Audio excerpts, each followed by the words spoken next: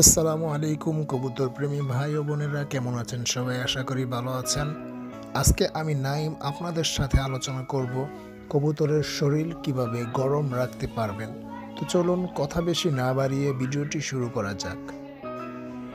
শীতকালে কবুতরের শরীর গরম রাখাটা আমাদের জন্য খুবই গুরুত্বপূর্ণ একটি বিষয়। কেননা, শীতে কবুতরের নানা রকম রোগ ব্যাধি হওয়ার আশঙ্কা থাকে, আর এটা কবুতরকে মারাত্মকভাবে ক্ষতি করে।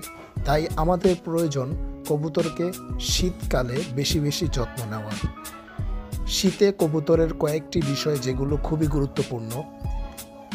এক শীতে কবুতরকে রেজা, কলি, ভুট্টা, গ্রিট ইত্যাদি গরম খাবার খাওয়ানো খুবই গুরুত্বপূর্ণ।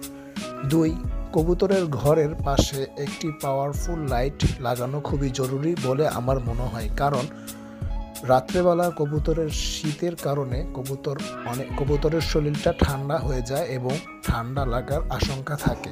সেক্ষেত্রে কবুতরের ঘরের চারপাশে যদি আপনি কবুতরের ঘরের পাশে যদি আপনি একটি লাইটিং লাইট লাগানোর সিস্টেম করেন, তাহলে অবশ্যই এটা কবুতরের জন্য খুবই ভালো।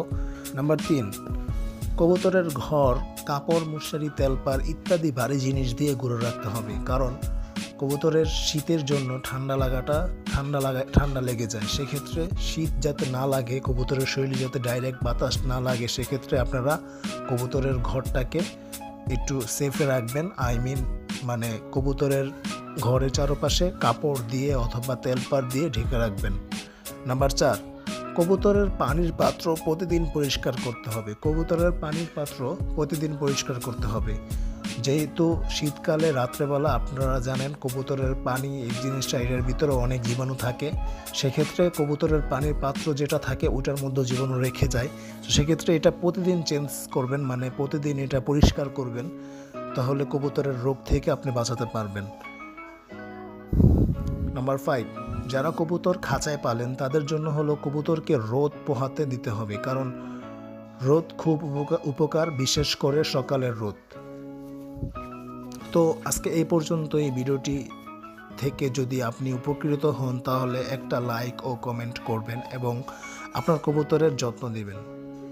যাবার আগে একটা রিকোয়েস্ট যারা আমার চ্যানেলে নতুন এবং আমার চ্যানেলে সাবস্ক্রাইব করেননি, তারা ভিডিওর নিচে একটি লাল রঙের বাটন আছে, ওইটাতে ক্লিক করে সাবস্ক্রাইব করে দিবেন। আর যারা সাবস্ক্রাইব করেছেন, তাদেরকে অসংখ্য ধন্যবাদ। আসসালামু আলাইকুম আ রহমতুল্লাহি